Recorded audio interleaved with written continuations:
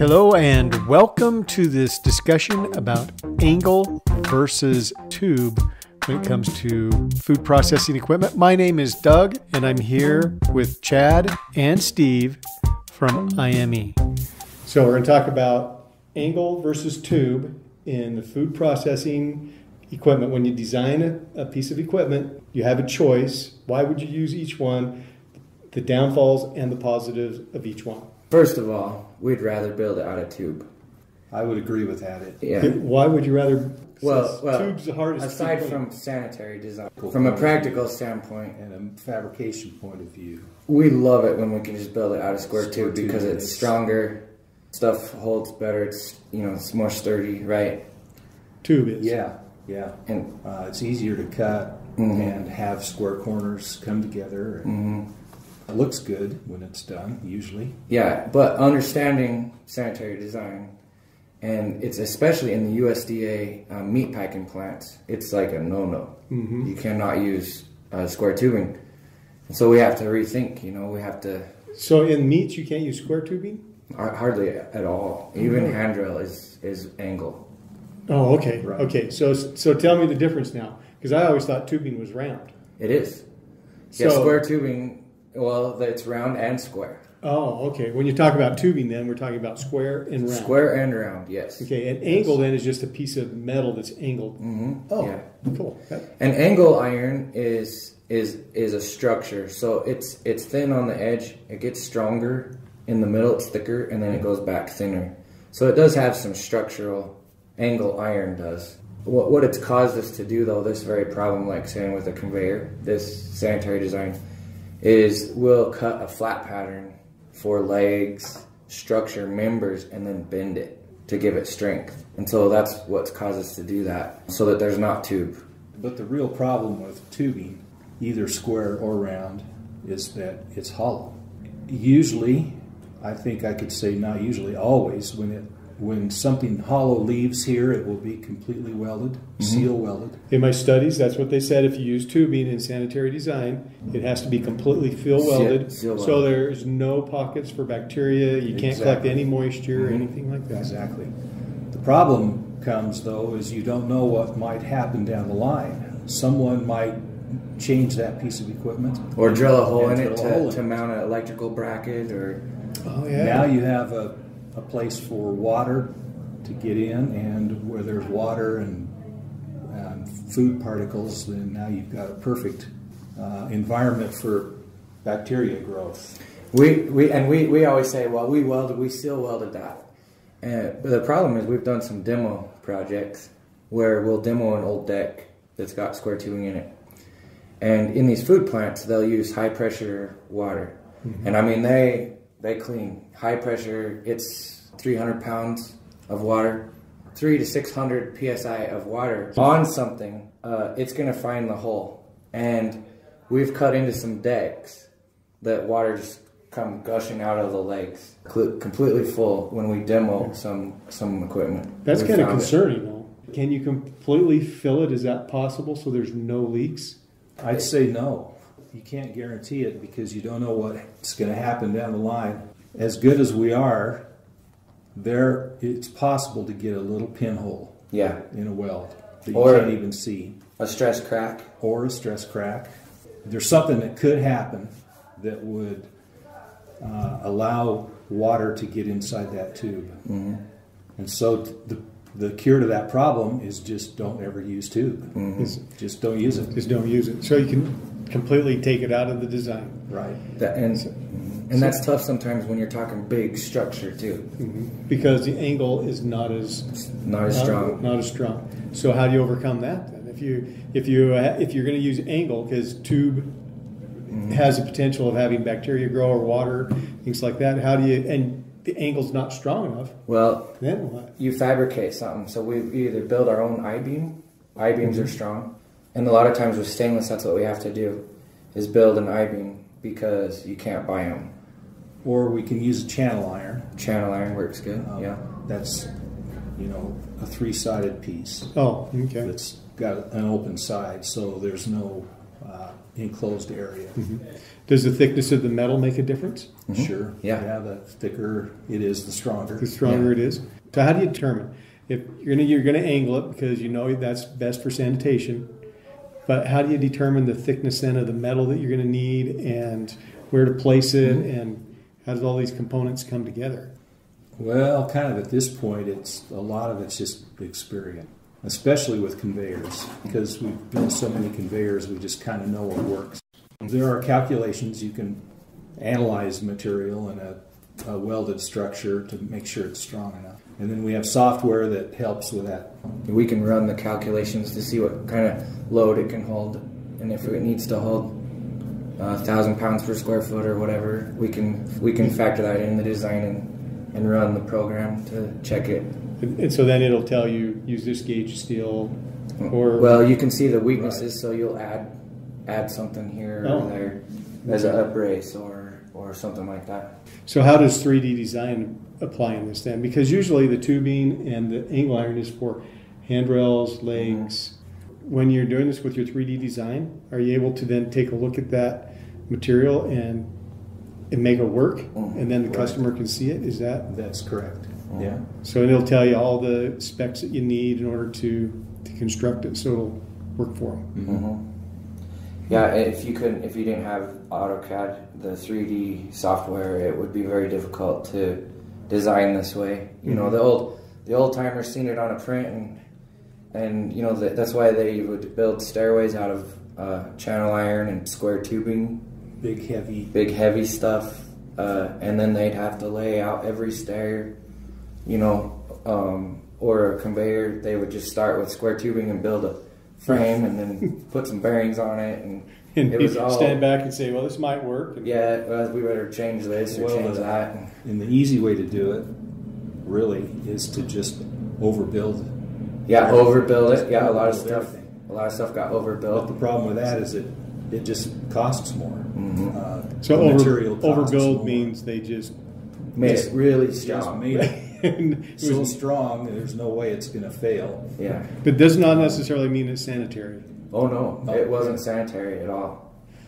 Two issues when it comes to sanitary is the, the surface in which the food actually contacts, hmm and then the other areas like the legs and the handrails, stuff like that, where it doesn't necessarily come into contact, but can it can also contaminate the food if it if it accidentally comes in contact, or somebody touches it, then Yeah. touches the food, and Yeah, I mean there's that's how it happens a lot. I think is by just people Touching. their hands touching Mhm. one place and then touching another place. We had an issue down at one of the plants that uh, the floor drains covers were fabricated in a way where they weren't seal welded. So there's a lot of gaps and stuff that uh, bacteria was able to grow in. And that bacteria would actually migrate and work its way up onto the equipment where uh, there it gets splashed by the spray, the guys cleaning. And then the the conveyor leg was built in such a way that it could harbor that. Yeah, it would so it started in the floor drain, but it creep up inside the made tube. its way to the tube, Oh, yeah. and then there was a place for it to to hold on to It's hold on in the in the It's leg. dark and wet, Mhm. and it just loves it. And so what would happen is they have uh, the QA people would come with their white Q-tip, you know, I talk about all the time, and swab the, the legs on the conveyors, and they would fail because because they had bacteria in them. because they, they were using tubing. Although that was Yeah. your that's your you said that is your favorite to use because it's because of the strength, but not because of It sanitary. doesn't work very Right. good for sanitary design. And at this point, there still are a lot of conveyors and equipment out there that were made out of tubing. Uh, for a time, it was great because uh, ignorance was bliss. You know, We- Yeah. we, didn't really know if that was a problem. But it's been about 15 years or so that I really try to avoid using any kind of a tubing. Does it make a difference on the type of food? Because like we're in potato country, Oh, sure. country, It does. and you know. I would imagine that they're moving potatoes out of the field. That's not sanitary equipment. We're talking about processing, Mhm. dehydrating.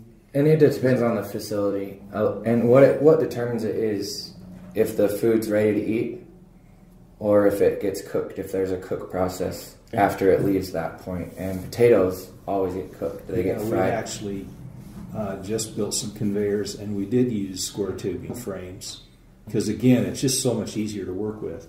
But it's for raw potatoes right out of the field. Some of this equipment literally was washing equipment to wash the dirt off. It's not such a critical deal at that stage of processing. But Because it's going to go into a great big storage unit. What do Yeah. they call those potato And it's not- Yeah, spud cellar. Yeah, spud cellar. It's not even when they're we're, when they're done with what they're doing in that process. It's not clean. It's not fit to eat yet. So you go from that process to the process where we were working on a line where the it's a ready to eat um, spiral. You know, that's the only one I can really relate to. And even the clothes that you wear when you go into the room when they're in production protects you from outside contaminants. And that's where, you know, there was the biggest concern of bacteria because it gets put in a box and shipped out to the store and people buy it and eat it right away. And so there's no cook process. And so it has to be very clean, very clean. So sanitary design is like at the height. Mhm. Then And that's in the in the food, but then like meat though, do you guys do much for meat? we've done That's another uh, kettle of fish. and that Yeah. that one you have to. I mean, we built some decks for them, and I never thought we'd build handrails out of angle iron, but we do.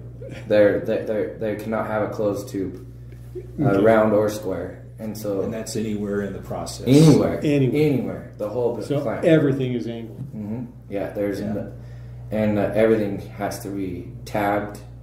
Um, So what do you mean by what do you mean by tabbed? Well, uh, to to bring stair treads together or where sheet metal meets, you have to. If, if you're not able to seal weld it all the way, you just weld it ever so often and cut it to where there's a gap that can be washed through. Because when I watched them put together the conveyor, uh, you designed it so that it looked like jigsaw pieces, Yep. puzzles coming together. Mhm. Is that what you're talking about? yes. Kinda? Uh-huh. Yeah. That, that really serves two purposes, though. That's kind of a neat, a neat deal. We make it so that there are slots and tabs that fit together, uh, so you can't put it together wrong. But at the same time, you're only welding that little tab part, so there's a lot less welding.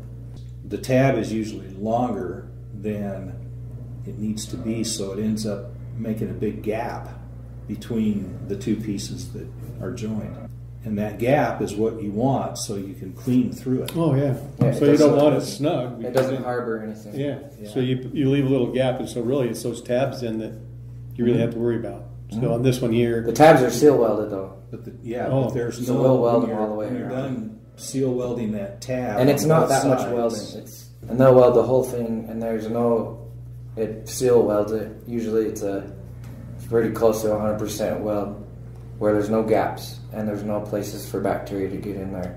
so back to the meat plant then. So you did everything in angle. So you guys actually bent that? Is that what you? no, we used you- structural, angle, Okay.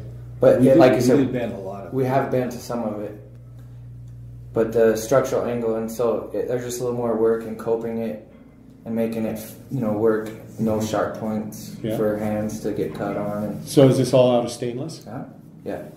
Generally, uh, stainless and sanitary design for food go hand in hand. Yeah. I know they've approved uh, titanium, except who can afford it? Well, that and aluminum, what you find with aluminum or titanium is the cleaning uh, solutions that they use, the chemicals that they use, actually eat the aluminum. Aluminum used to be great. I I used to make a lot of parts out of aluminum until the the cleaning procedures changed in the factories. They Mm. use more chlorine, I think, now than they used to. Now aluminum's out. You, Just- just eats it away. just And if it's anodized, aluminum. if it's an anodized aluminum, which is a coating that they'll they'll anodize it to, it's like a kind of almost like a powder coat, right? Yeah, An anodized. It's just the process. yeah. a lot of aluminum is anodized. Well, that chemical just eats that off and it starts chipping, and then you got problems because Because now you have that's all- getting into the food. The Oh chip, yeah, yeah. the chip. Plus it leaves a pocket.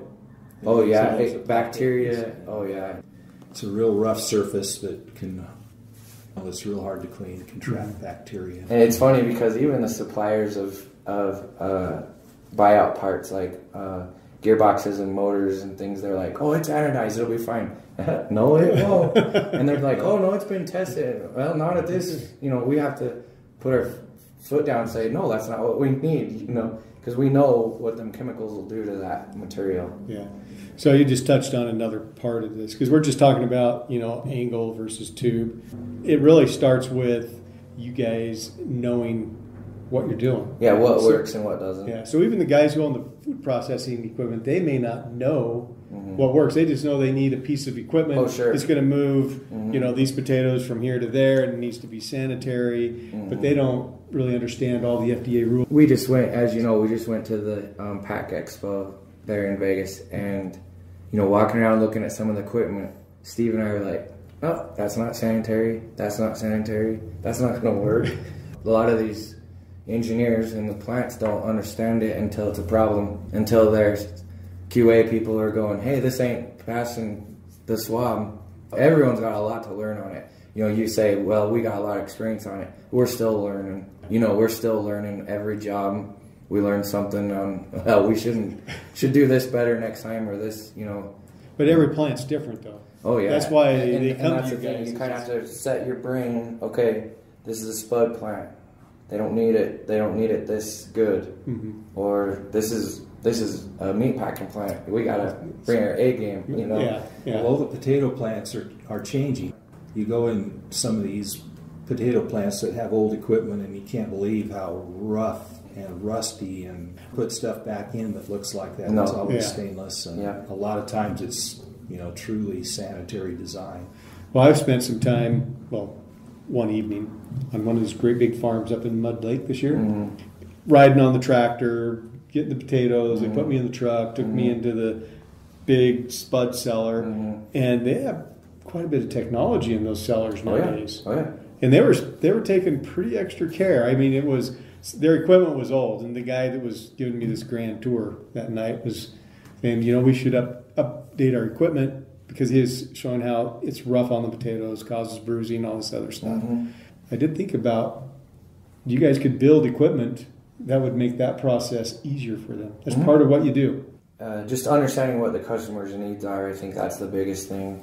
What we have found, and I've said this before, is it's pretty tough to take that old equipment that was built back in the day and make it sanitary.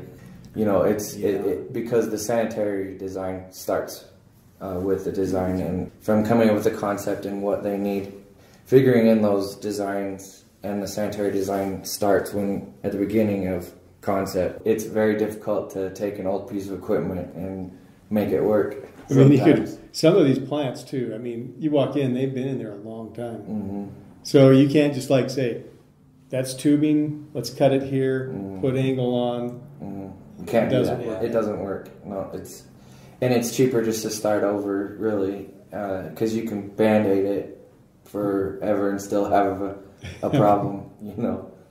Yeah, I guess as soon as you make a connection, you're going to have sanitary issues. And we're building some equipment right now for a potato plant, and we're really trying to be careful of what gets seal welded, what gets you know, and, and make it more sanitary hmm. because they are the everyone's moving more in that direction, and it all comes down to at the end of the day, no food plant wants their name in the news, stating that they got all these people sick. You know that that's like number one priority that they don't get anyone sick. Oh yeah, that could be the end of their business. Oh, sure. Yeah, it could give them such. I mean, look what happened. You know, well, well I can think of Chipotle Mhm. was one that I Yeah. can think of. That we had the peanut one. Wasn't there a peanut There- factory? There was a peanut factory that I think someone went to prison. Yeah. over that. Wow. Yeah. It's important to understand. Here's where you use angle. Here's where you use tubing. Oh tubing. man, yeah. And that's what's brought it to forefront is not getting, not contaminating the food. You know. Mhm. You know that's why it's so important to select the right fabricator hmm and the right designer to do these projects because you can have one conveyor, one piece of equipment that's causing the bacteria problem and it infects the whole process. The whole plant can go Yeah. because that stuff travels fast. hmm Yeah. What's your advice then on choosing a good fabricator We've been talking about this. This is just one little aspect. One, just the tubing versus angle. How do you make that choice? That's a good question. This I guess just just uh, understanding the fabricator's experience. I think that's mainly it. Is just Experience and attention to detail in a food plant Uh, and attention to detail. Also references. I've had plants ask about other contractors. You know if they have experience in that. Your reputation, I think, is huge too. You know, as a contractor, understanding that we have plenty of satisfied customers that we solved these issues for, solved problems for. But now's a good time to toot your own horn. Right? Well, yeah, because I mean, because you guys have. I mean, you've been around 26 years. yeah, And so you've gone through, you know, hey, we're going to make something and it's just for the potatoes or digging them out of the field, all the way to the most delicate type food, the meats and all that kind of stuff. So you've you've learned over the years. Mm. So they could actually call and talk with you. Oh yeah, I think a conversation, a even a site visit, we'll go see what they got going on, and usually it all makes sense. We can come up with a solution to help them once we see their process, what, What they're they- trying to accomplish, what are the problems they're having. I was going to ask too, Steve.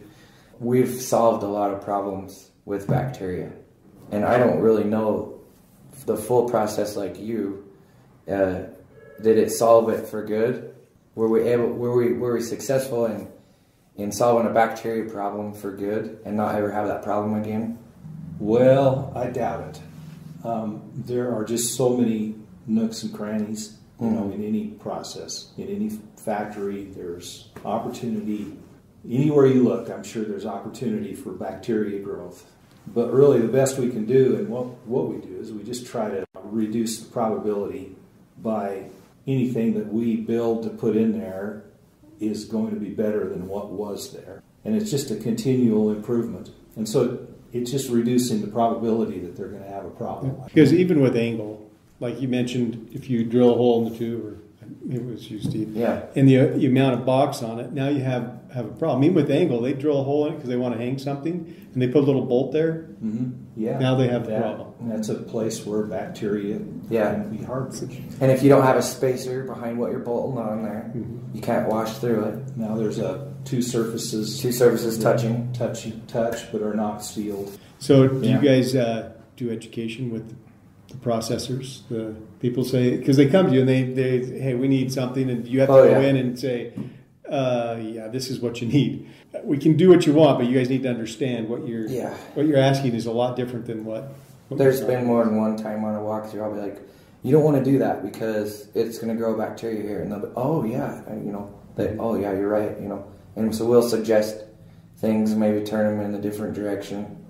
there's no way that the fabricator can really understand all the things that need to happen in sanitary design. Mm-hmm. Because you don't have a way of actually setting one up mm-hmm. and then cleaning it repeatedly day after day after Nice. day after day so that you can say okay this is where we're having the problems. You set it up and you do the best you can and then mm-hmm. next time you learn from it and so forth.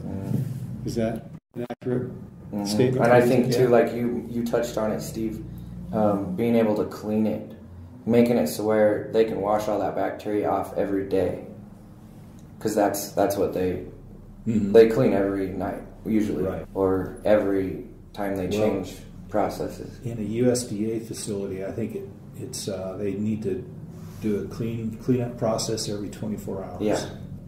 In a non-USDA, I don't think they have to do it as often, but I think a lot of places do anyway, just because that's kind of a standard.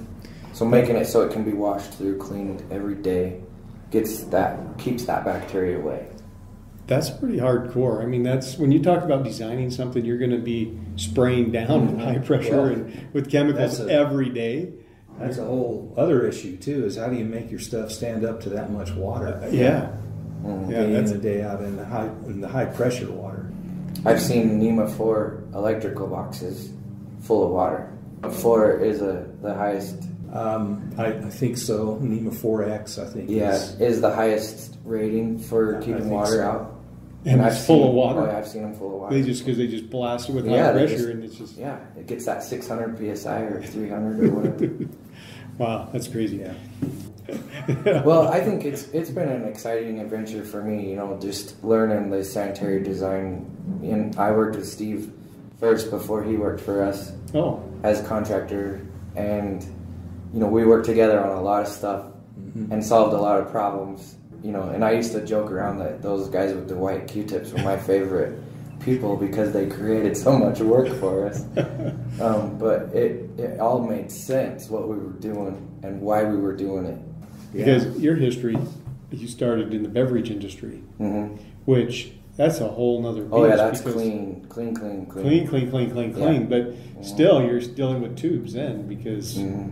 It's got to be a challenge. Like, Mhm. how do you keep that sanitary? Yeah, and I think I think once you understand the concept, you know, just some of the things like angles and square tubes and tabbing things together, um, it really once you understand, you can identify problems or things that are going to work really quick. Yeah, it doesn't take long. No, it doesn't. You can see it, and you're like, oh, well, that's not going to work, or hey, that's going to clean real well. So it's been fun to learn, you know, that process. And there's a I seen a meme the other day, you know, because I see it. I, it's a as a fabricator, everywhere you go, you're looking at stuff that's built, right?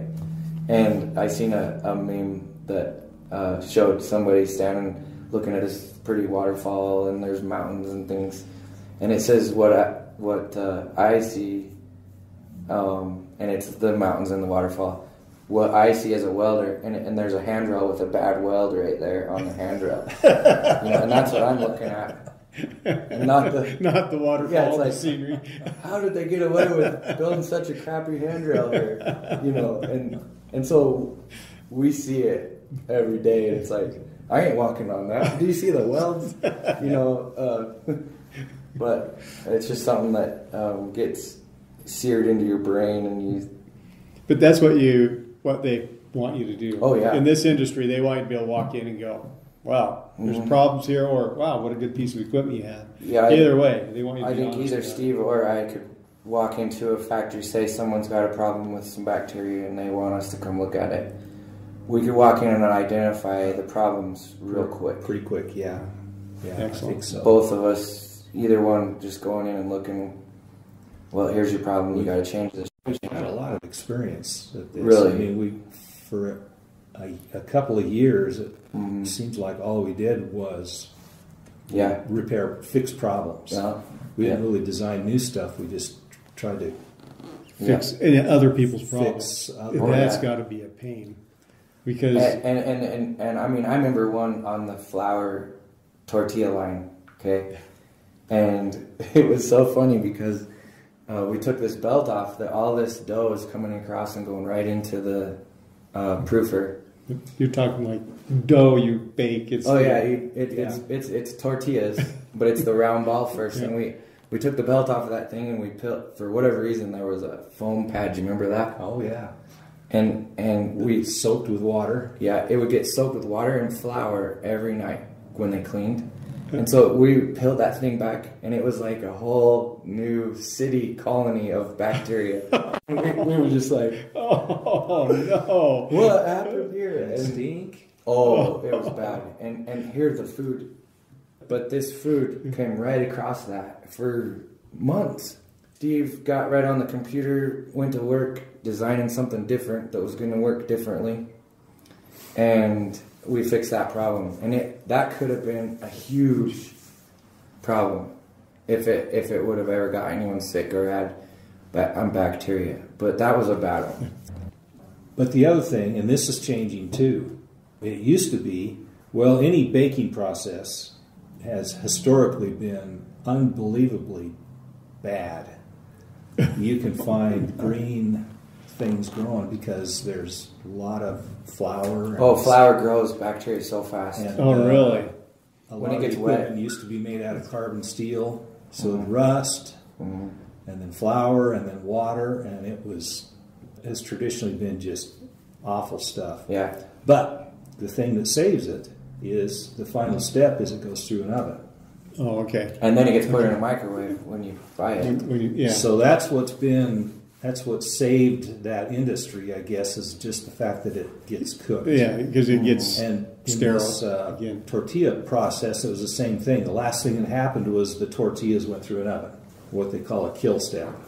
But that's changing.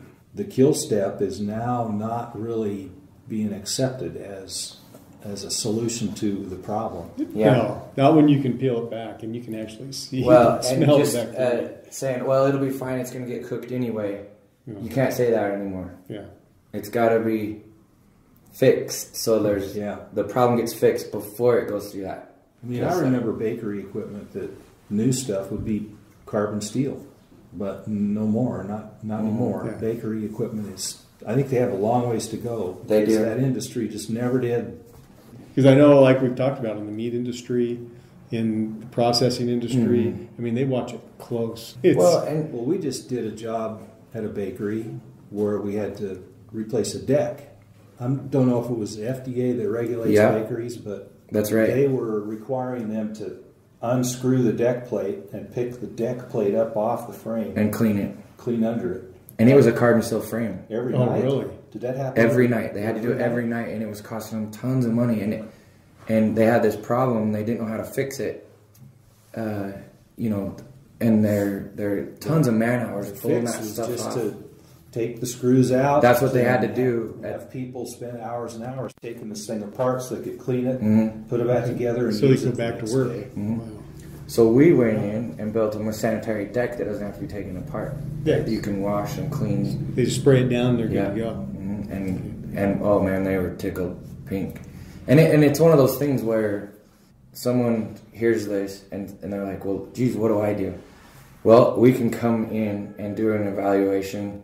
We can assess your problems and identify areas that you need to work on or fix. Mm-hmm. You know, that's what we could do.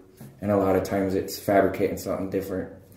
But we're more than willing to go to your facility and take a look around, see what can be fixed. You Yeah. know, it's it's pretty easy to identify the problems. This particular problem with the aluminum deck, it was just setting flat on a square tube, Yep. and so there's a there's a pocket there hmm where bacteria just grows, Mhm. and and it migrates. Oh, Bac- yeah. that's one thing we don't realize is bacteria. It likes moves. to move. It likes to grow and spread out. Yeah. Mhm. And that's the biggest issue. Final word, Steve. Angle two. Angle every time if it's food. Every time if it's food. If it- So basically, they need to come and talk to you guys and say, let's look at what you're doing. Mm. Then you can determine angle is sanitary, tube is structural. You may not be using it in a sanitary condition, so it'll be fine. yeah. The problem is, is uh, structural tubing, say smaller stuff, has been used to fabricate conveyors. The the thing that's closest to the food, hmm and and that's where you can't do that. Um, and so, you know, it used to. I mean, I remember seeing uh, belts running on square tube. You know, the food belt, and and so can't do that anymore. And and so you got to use something different, solid plastic. You know, for Yeah. wear strips. Mhm. The the plastic's actually the whole support, or you know those kinds of things, and and get that structural steel out of the conveyor design. It's a challenge, isn't it? Because you want to use it to add is. strength and It is a challenge, but we're we're pretty good at Yeah, it. Yeah, we're getting good at it. days. yeah. Yeah, We're getting things kind of figured out. yeah. I noticed you did a lot of what is it when you you bend the metal? What do you call that? Forming it. Forming it. You on what when I watched, you had a lot of forming. Mhm. They and I I assume that was giving it structural integrity Exactly. and boltings to it. Yep, exactly right. Yeah, you bend it. So the legs that we made for a lot of our conveyors now are we cut it flat pattern and we can put the holes. You know, if it does get bolted with spacers, when it's bent, bend it into a channel, Mhm. and it's really strong. It's pretty strong. Yeah. It's a good way to go. So it's got a lightweight and strong. Mhm. If you're taking a lot of that off. So. And you can wash through it, clean it. Excellent. Okay, Chad, tell us where we're at. So we're at Industrial Metal Enterprises in Blackfoot, Idaho. Okay, commonly known as IME. IME. So look for the IME signs on all this. Stuff. That's right, IME, and uh, we'll we'll make your job easier. Okay, thank you guys. I would like to thank Chad and Steve for visiting with me today about angle versus tubing when it comes to food processing equipment. They are extremely knowledgeable. If you need more information, please reach out to Chad at Industrial Metal Enterprises in Blackfoot, commonly known as IME. Next topic will be the machinery we use in order to create sanitary food processing equipment. So stay tuned for that. These guys have a tremendous amount of knowledge and they will be giving you some valuable information when it comes to sanitary design for food processing equipment and the machinery we use. Thanks, and we'll talk to you next time.